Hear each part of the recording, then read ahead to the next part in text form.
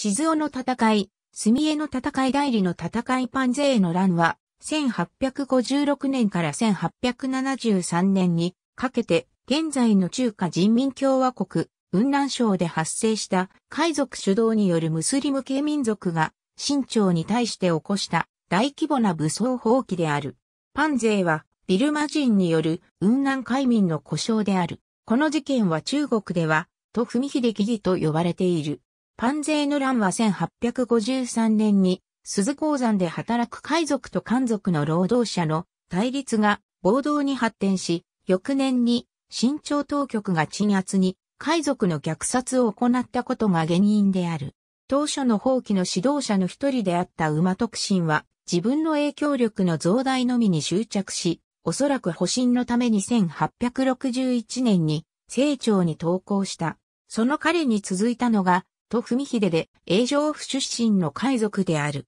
1856年、武装放棄軍は、雲南の西部都市代理を占領しそこを本拠地とし、新朝からの独立を宣言し平南国を樹立した。彼らの指導者、トフミヒデは、スレーマン・イブン・アブド・アッラフマーンと称したが、一般的には、スルタン・スレーマンとして知られている。武装放棄軍は1857年、1861年、1863年、1868年の4回にわたって雲南省の省と昆明を包囲攻撃した。雲南南部出身で海賊の武装放棄軍指導者馬女流も1862年に昆明を攻撃したが、清朝から軍のポストを提示されて寝返った。彼の部下の一部はこれを不満に思い、1863年に彼の不在に運気総督の反卓を殺し、昆明を奪取し、と文秀に引き渡そうとした。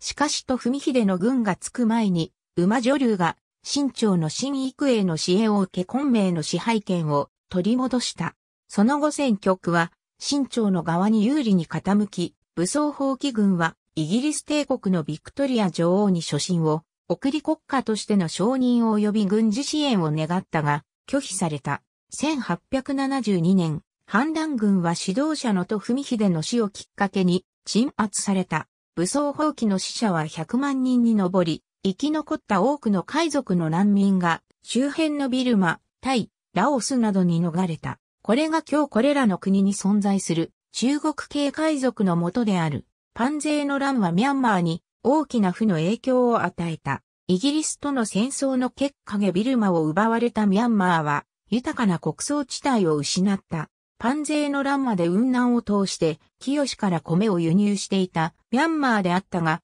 清朝の怒りを買いたくなかったミャンマーは、清朝の要請通り武装放棄軍との交易を取りやめた。このため、米の輸入源を失ったミャンマーは、米の輸入をイギリス帝国に頼るしか術はなかった。また、当時のミャンマーの経済は、清への綿花の輸出に大きく頼っていたが、パンゼーの乱によってこれも実行不可となった。一方、ヤクブベクの乱では、1868年にイギリス、1870年にロシア帝国がヤクブベク政権を承認。ヤクブベク政権はイギリスから武器供給を受けた。イギリスの対応が異なった主な理由は、反乱がミャンマーに及んだ影響参照。ありがとうございます。